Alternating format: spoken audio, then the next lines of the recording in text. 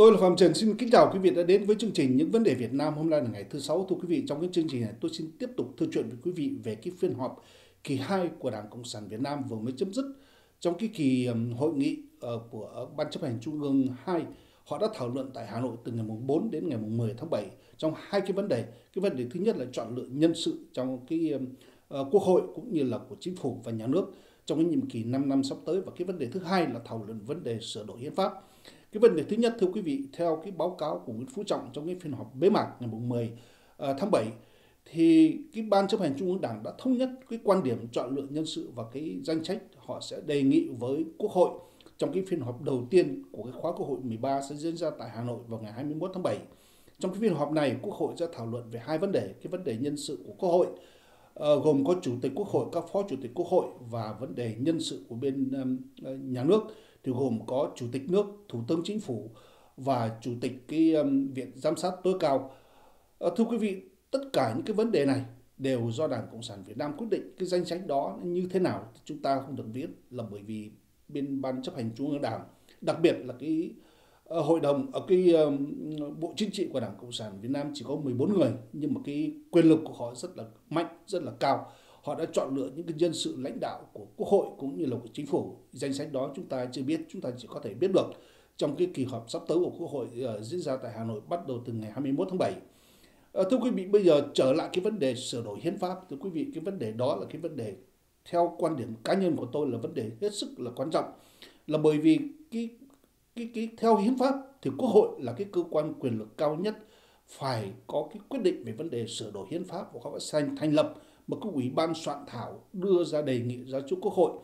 thì cái ủy ban soạn thảo đó họ sẽ chỉ được được thành lập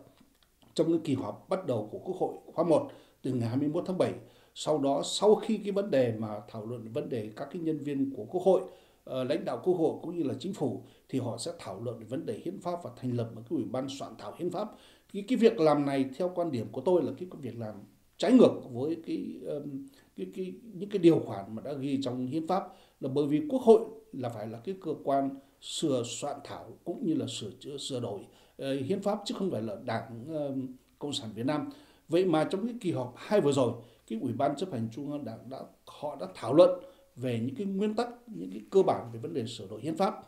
thì ngoài ra cái vấn đề ờ, quan hệ hơn nữa là trong cái kỳ họp quốc hội sắp tới thưa quý vị họ sẽ cũng sẽ thảo luận về vấn đề tình hình biển đông. Đó là những cái đòi hỏi của một số đại biểu quốc hội ờ, uh, cũ cũng như là mới đã đắc cử uh, trong cái kỳ quốc hội uh, khóa 13 họ sẽ thảo luận về tình hình biển đông cũng như là cái sự băng giao giữa Việt Nam và Trung Quốc. Bây giờ trở lại cái vấn đề sửa đổi hiến pháp thì thưa quý vị trong cái bài diễn văn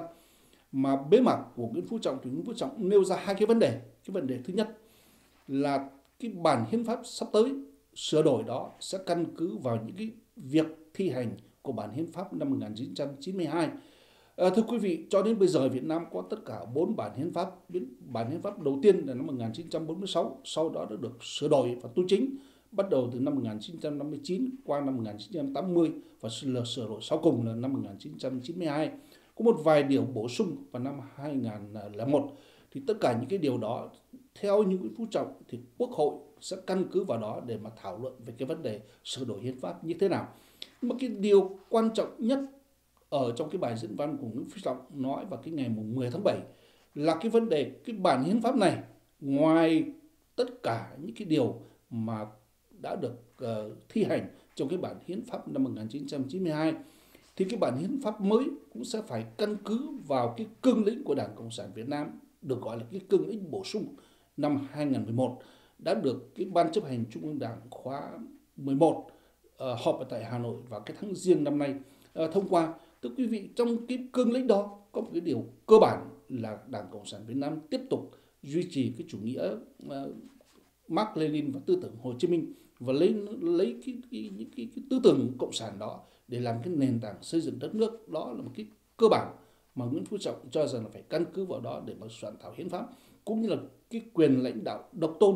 của Đảng Cộng sản Việt Nam căn cứ vào cái điều 4 hiến pháp, cũng như là cái cương lĩnh của Đảng Cộng sản Việt Nam đã dành cái quyền lãnh đạo độc tôn cho Đảng Cộng sản Việt Nam. Tức là không có bất cứ một cái đảng thứ hai nào được sinh hoạt ở tại Việt, được hoạt động tại Việt Nam ngoài cái Đảng Cộng sản Việt Nam. Và ngoài cái Đảng Cộng sản Việt Nam, đó có cái quyền rất là lớn, cái quyền gọi là cái quyền lãnh đạo toàn thể xã hội và nhà nước, có nghĩa là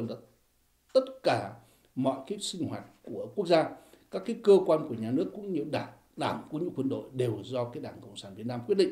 Như vậy thì cái bản hiến pháp đó nó sẽ không có cái một cái giá trị, bất cứ một cái giá trị nào trong thực tế là bởi vì mọi cái quyền mà được gọi là quyền dân chủ tự do của người dân ghi trong cái điều hiến pháp đó rất là toàn hảo. Nếu mà đảng cộng sản việt nam thi hành cái bản hiến pháp này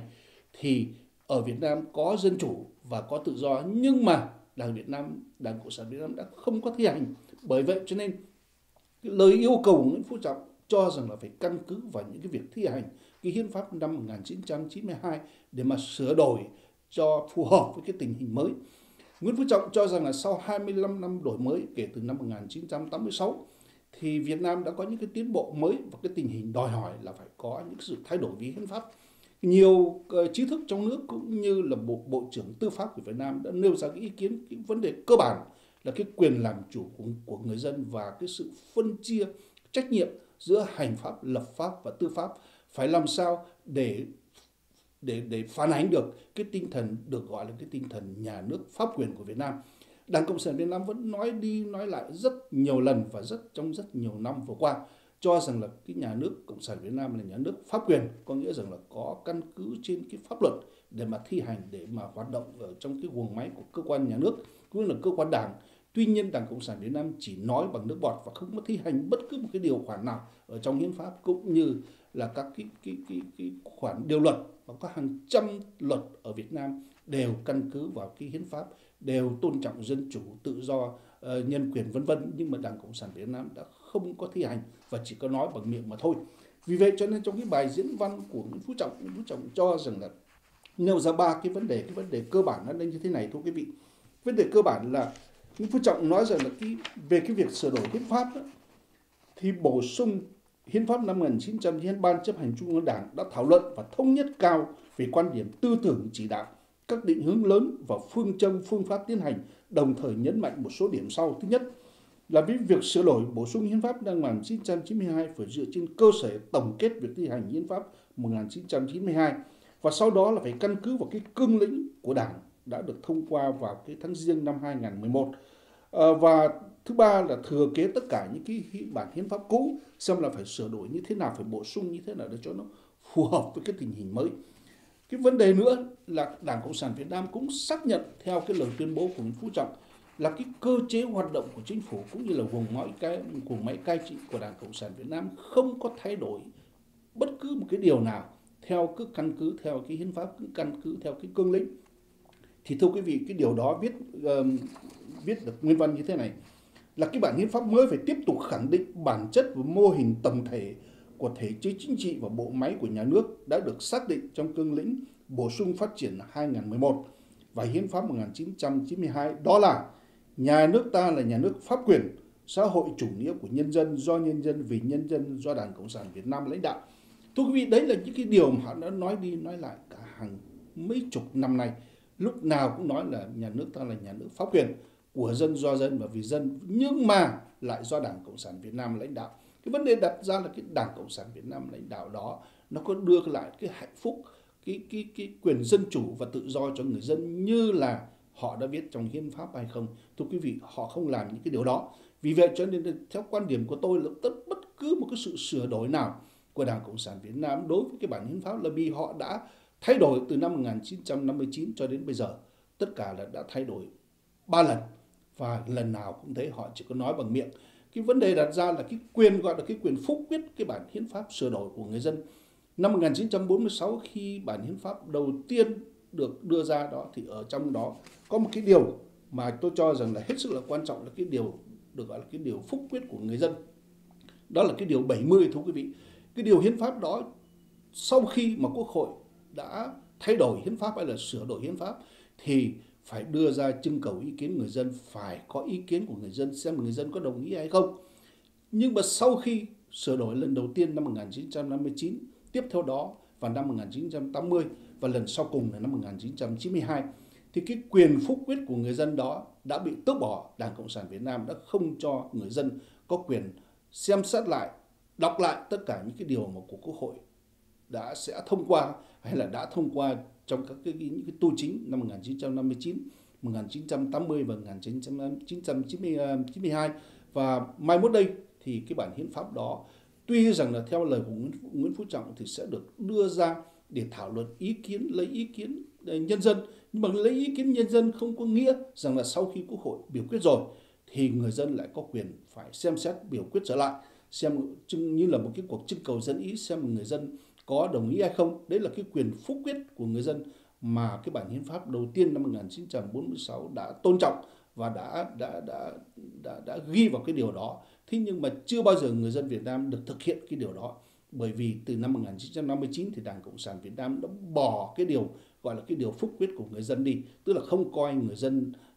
có cái quyền gì đối với hiến pháp mà đã dành đặc quyền đó cho cái quốc hội. Mà cái, cái quốc hội của cộng đảng cộng sản Việt Nam thì thưa quốc hội quý vị cũng nhớ rằng là quốc hội này là quốc hội của đảng cộng sản Việt Nam là tất cả mọi người ở trong quốc hội phần lớn có thể 99% đều là người của đảng cộng sản Việt Nam và do đảng lựa chọn. Người dân chỉ có việc đi bỏ phiếu theo yêu cầu của nhà nước là bởi vì ở Việt Nam không đi bỏ phiếu là một cái cái cái, cái một cái sẽ bị một cái hình phạt cũng như là sẽ rất uh, gặp rất nhiều khó khăn. Bởi vậy cho nên là người dân bắt buộc phải đi bỏ phiếu. Người dân không có quyền không đi bỏ phiếu. Bởi vậy cho nên là Việt Nam mới có cái câu gọi là đảng cử và dân bầu. Thành ra cái quốc hội của đảng cộng sản nó cũng như là một cái đảng thứ hai của đảng cộng sản Việt Nam vậy thôi không có một cái ý nghĩa gì, không có một cái giá trị căn bản nào về vấn đề pháp lý, cũng là về thể hiện cái quyền dân chủ của người dân bởi vậy cho nên khi đảng cộng sản Việt Nam giao cho cái quốc hội có cái quyền ờ, thay đổi hiến pháp hay là sửa chữa hiến pháp, thì cái điều đó không khác gì là đảng cộng sản Việt Nam tự làm lấy cái chuyện sửa đổi hiến pháp cái điều đó đã được chứng minh trong cái bài diễn văn của Nguyễn Phú Trọng, nói rằng là Đảng Cộng sản Việt Nam sẽ quyết định về cái vấn đề sửa đổi hiến pháp. Họ đã làm cái điều đó trong cái kỳ họp thứ hai vừa qua. À, tôi là Phạm Trần. Đến đây tôi xin tạm ngưng và tôi xin ờ, trở lại phần 2 của chương trình.